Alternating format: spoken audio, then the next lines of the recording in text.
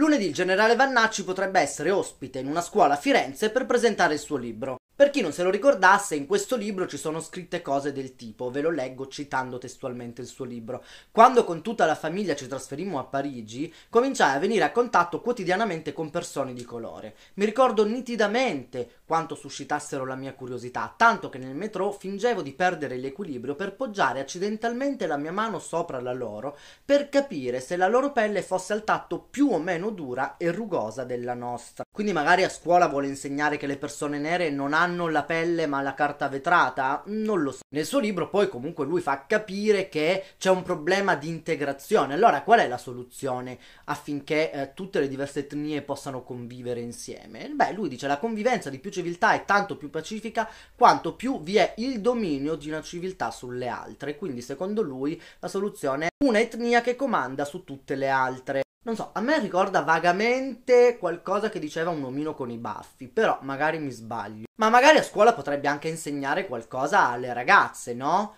Che cosa? Beh, considerando quello che ha detto sulle femministe, sicuramente avrebbe tanto da dire. Infatti lui dice che l'unica cosa che le femministe sanno fare è promuovere il divorzio e l'aborto, come se fossero qualcosa di sbagliato. E poi scrive: Le moderne fattucchiere, lui definisce così le femministe, sostengono che solo il lavoro e il guadagno possano liberare le fanciulle. E voi direte: Sì, vabbè, dai, ma mica vorrà dire che le donne devono stare chiuse in casa a lavorare.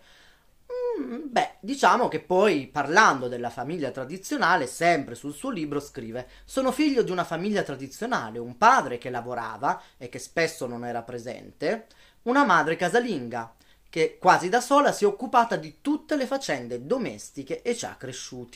E sì, secondo lui, questo è il modello di famiglia secondo il quale tutti gli italiani e le italiane dovrebbero basarsi. Quindi la donna che si prende cura dei figli e del marito e della casa e il marito che va a lavorare. Poi per carità, io magari non dico che lui sia contro le donne che vanno a lavorare. L'importante però è che puliscano la casa e che facciano trovare da mangiare e che si prendano cura dei figli, perché i mariti hanno cazzi da fare.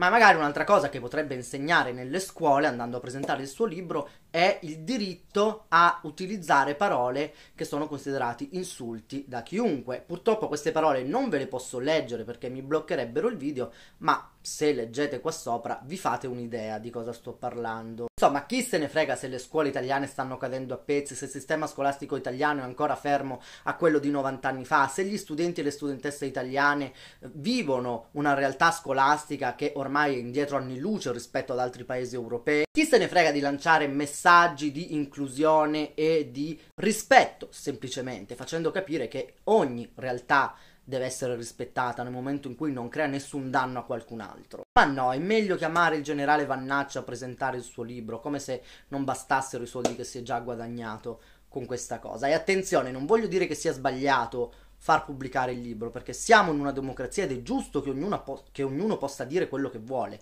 ma la scuola non deve essere il luogo per ospitare persone che hanno da dire cose di questo tipo, ma a quanto pare questa è la linea di pensiero prevista dall'attuale governo, infatti anche Salvini ha dichiarato che non si candida alle europee ma candiderebbe volentieri proprio il generale Vannacci. E lui risponde grazie, valuterò. Quindi sì, per citare proprio il suo libro devo dire che il mondo è davvero al contrario, perché chi vorrebbe semplicemente vivere la propria vita senza essere insultato e senza danneggiare la vita degli altri, viene accusato di pensiero unico, mentre chi vuole andare nelle scuole a far mettere queste idee che di rispetto non hanno nulla nei confronti del prossimo, viene addirittura candidato come rappresentante dell'Italia in Europa. A voi commenti.